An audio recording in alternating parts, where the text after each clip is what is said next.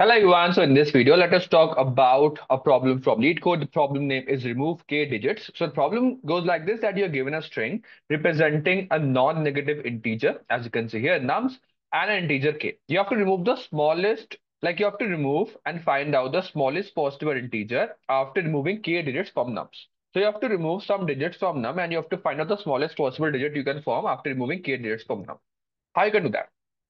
Always in such a problem, always try to take some examples and try to find out some strategies and then you will try to solve it. Let's take this example only.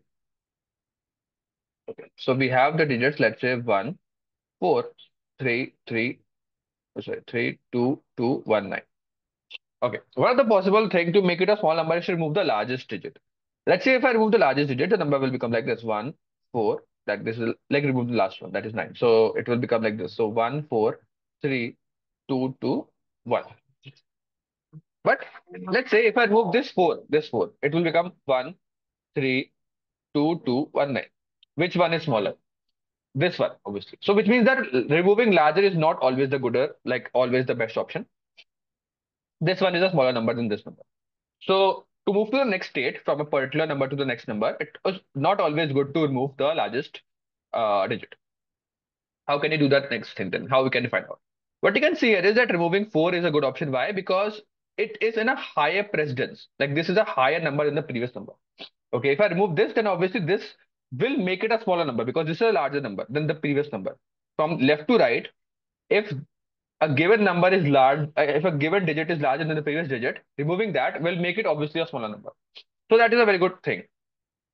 One of the good observations that we have find out is that uh, from left to right, if a given digit is of larger precedence or bigger value than the previous digit, then removing that will obviously decrease the current, uh, like current the number value. Okay. Now, if let's say I have an increasing digits like 1, 2, 3, 4, 5, which one removing is better? If I remove 2, then this will obviously become a bigger number, 1, 3 ho gaya. But if I remove 5, it has become smaller. Okay, because love 1, 2, 3, 4. Okay, so so let's say obviously it, always just compare two two numbers one three four five. If I remove any like let's say two, and if I remove five, it become one three sorry one two three four. Which one is smaller? This one. So which means that if it is increasing, remove the large like the larger one. If it is decreasing, remove the starting one. So we are starting to get some pattern. It's obviously that the only thing that depends is now at the precedence. Which one is larger? Like the larger one depends. Like as you can see, that is like increasing. That is fine. Like that it, it like this one is greater than that is fine removing the one that is the most greater gives the good good so as you can see if it is increasing the maximum that that we can remove is good so what we can do is that we have to somehow compare the next like the current number with the next number and if I remove the digit, let's say if I remove the digits, then all the digits have to shift one space to the left hand side. So the new number will become like this, as I've told you. Uh, 13299, So now again, this number has a bigger precedence than this number. So which means that I have to shift and all of that have to be done in the same number. But removing and shifting all of that will take a lot of time and we don't have uh, to do this in a complete string data structure. So a better data structure for this is a stack.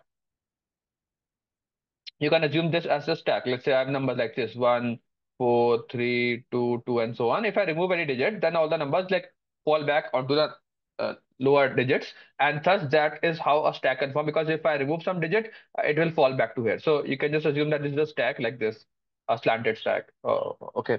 Uh, so uh, horizontal stack like this. So if I move in, in that like you can say a digit from the something we cannot remove like this but still like if I remove something it like it will fall onto this. I'm just giving you an example.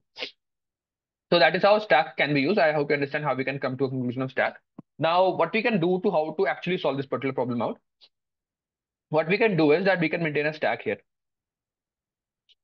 And we have this number, let's say 1, 4, 3, 2, 2, 1, 9. We can do a for loop from left to right. So what we can do is that, as I've told you, every number, if every number is in the final answer, if the previous numbers, all the previous numbers to it, should have smaller precedence this is. If we have the larger number, if we go from left to right, any digit will be in the actual answer if the previous number should we have a smaller precedence this is. So if we, if we have 4 and 3, then that is bad because I can remove 4. So what we can do is that we can go from left to right and check that whether this number, this digit has to be in the final answer. If it has to be in the final answer, all the previous has to be removed so that we can take out from the stack. and they have to be removed in the same order. So what we can do is that uh, we will push back. Uh, so I'll, I'll show you, show you how with this example, these two examples. Let's say for the first example, we go from left to right.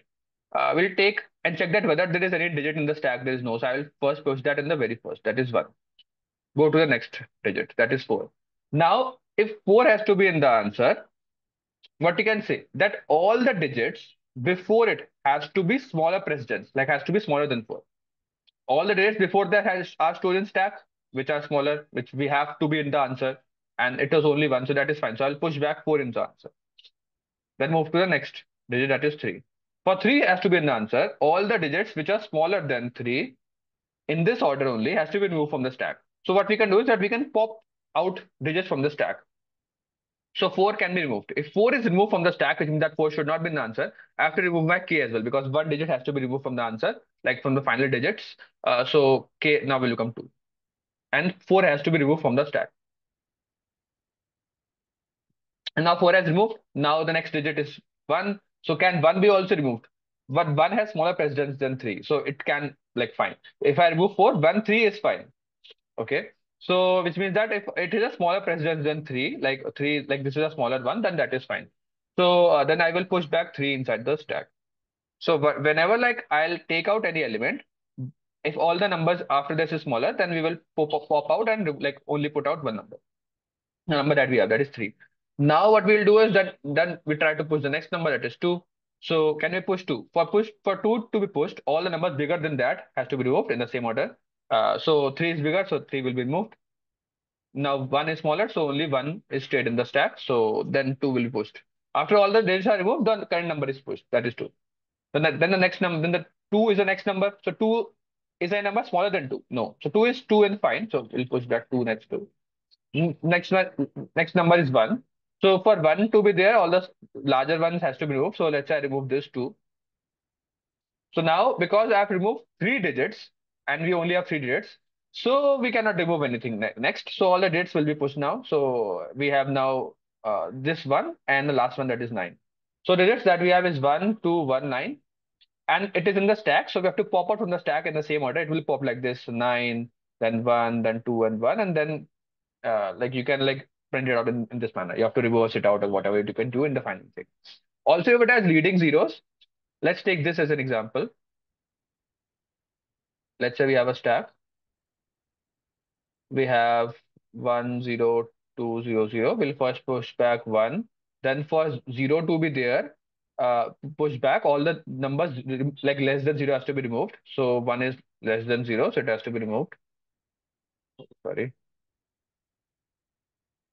Then uh, 0 will be pushed back.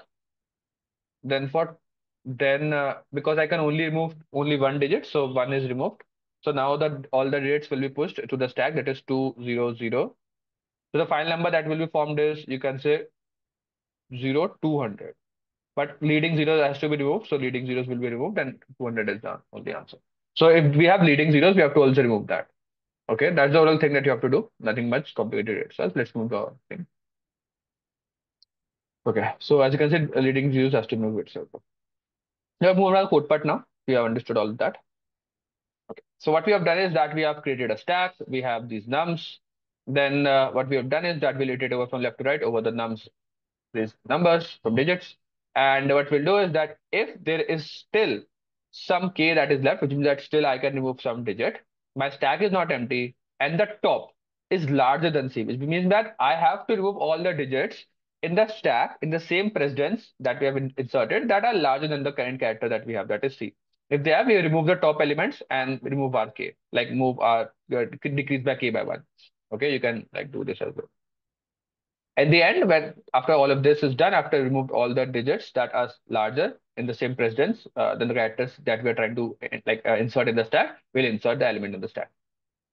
Then what we have is, let's say I have forgot one more thing. Let's say that the digits are 1, 2, 3, 4, 5.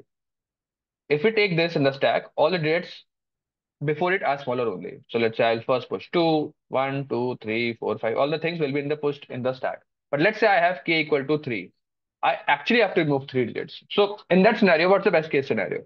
Remove the bigger digits from the very back because it is increasing order. And in the increasing order, uh, like the best option is to remove the digits from the very back. That is five, four, three. So which means that if I still have any k left and we have removed and iterated over the whole num, and after still that some k is left, we'll pop out the remaining k from the very top of the stack, the very back elements. The the elements are in the reverse order in the stack, so we'll top, pop out the back elements from the stack. That is how the remaining k will be resolved. So that we have done in this while loop, as you can see here, that uh, if the stack is still not empty and we have still some k, we'll pop out element from the stack.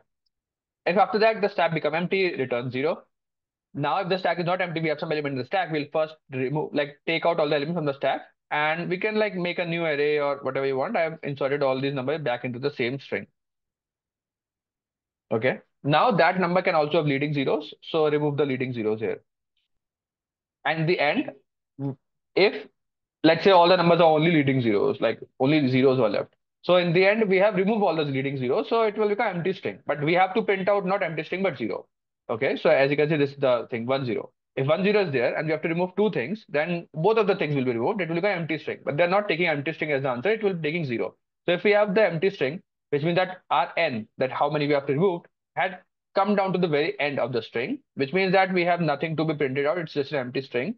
Uh, then we have to return zero or else we'll take out the substring from the string that we have to print out. Okay, go through over this part. It's nothing much complicated. We have just remove out the elements. Uh, uh, like if the string become empty, return zero. Then take out all the elements from the stack.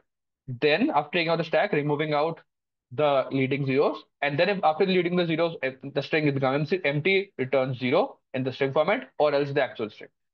Okay, that's the complete logic in the code part for this particular problem. If you still have any doubts, you can mention in the comment box of this particular video. I'll see you in the next one. Till coding and bye.